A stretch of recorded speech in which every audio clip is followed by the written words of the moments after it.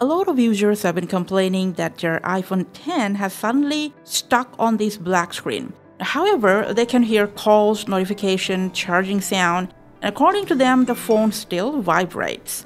So in this video, we're gonna fix this issue.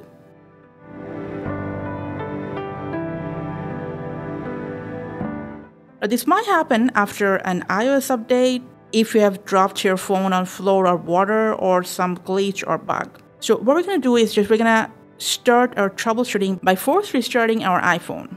Now press and release the volume up and down rocker and then press and hold the side button.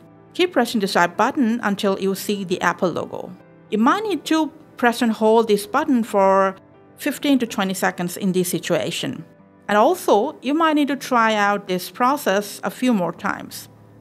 Now, apart from this, it's recommended that you should use a genuine Apple approved cable and a proper wall adapter with that to charge your device.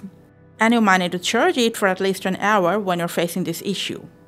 If none of these process helped you, you need to contact Apple support and see if you need a screen replacement or not.